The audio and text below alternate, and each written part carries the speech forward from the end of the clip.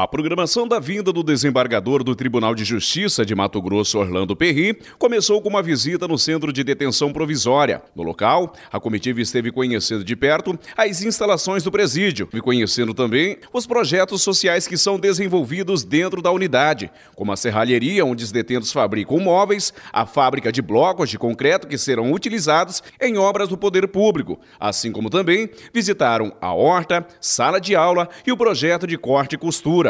A intenção dessas visitas é conhecer a realidade de cada centro de detenção e levar aos reeducandos oportunidades de ter uma profissão, para que os mesmos possam ser inseridos na sociedade novamente. A visita contou com a presença de autoridades da segurança local, magistrados, assim como também autoridades políticas, que vieram conhecer de perto a realidade do CDP de Pontes Lacerda. O deputado Valmir Moreto, que acompanhou os trabalhos, destacou a importância da visita do desembargador, que procura trabalhar um método diferente de ressocialização com os detentos. O desembargador, o doutor Geraldo Fidel, esteve aqui visitando Acho que é importante que eles querem que esse trabalho de reeducando, socializando a sociedade, isso possa realmente pegar corpo no sistema previdenciário do estado de Mato Grosso. Então, assim, junto com o juiz da comarca, com o doutor Enzo aqui presente conosco também, para que a gente pudesse, então, ver esse trabalho aqui. Então, acho que uma visita importante. As conclusões próprio, o desembargador fez questão de vir aqui tirar suas próprias conclusões e acelerar esse processo de, junto com o SEMA, junto com a sociedade, prefeitura e empresas particulares também, para que com esse programa de ressocialização a gente possa tirar essa barreira de discriminação. Quando o preso sai, ele sofre uma discriminação muito forte na nossa sociedade. Então, qual que é o objetivo? Que essa socialização a gente possa, então, novamente tirar essa barreira de distanciamento, porque as pessoas que saem daqui podem ir para a vida normal, ter a sua oportunidade de trabalho, buscar novamente o sustento dos seus lares, das suas famílias e viver a vida normal sem precisar voltar para o lado errado. Esse é o principal objetivo. O juiz doutor Cláudio Deodato, diretor do Fórum da Comarca de Pontes Lacerda, também esteve no Centro de Detenção Provisória e avalia de forma positiva essa visita da equipe do Tribunal de Justiça ao nosso município. É muito válida a presença do desembargador, né, da equipe que acompanha o desembargador, tanto aqui em Pontes Lacerda.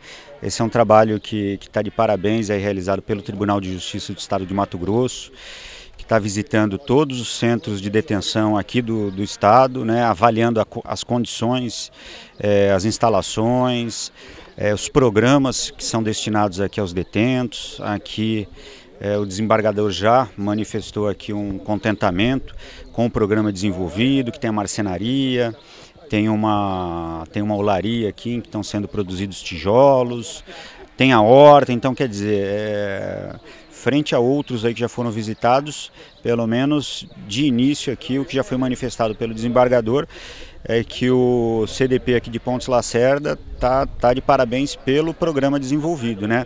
Programa que visa sempre a ressocialização do detento, né? Uma vez que um detento é, que não fique aqui simplesmente em uma cela com a mente ociosa, mas que aprenda um ofício, aprenda um ofício da marcenaria, aprenda um ofício da olaria, é, aprenda a, enfim, é, mexer aqui com, com hortifrutos, provavelmente é um, é um reeducando que vai conseguir uma inserção no mercado de trabalho quando ele, enfim, egressar aqui do, do sistema prisional.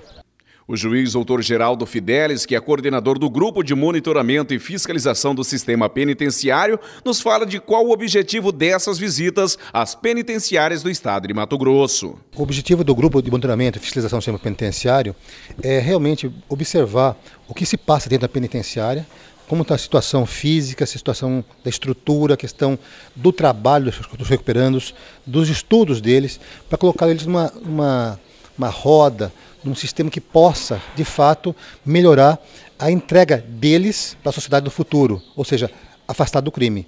Nossa, nosso objetivo é que, é que, com inteligência, combater o crime, oportunizando dignidade, respeito, educação e trabalho profissionalizado para essas pessoas. Conhecendo o trabalho que está sendo realizado, principalmente através dessas oficinas aqui dentro, espera que novas pessoas possam ser transformadas para ser colocadas na sociedade? Os trabalhos aqui estão sendo feitos de maneira correta, organizada, limpa, mas pode avançar ainda.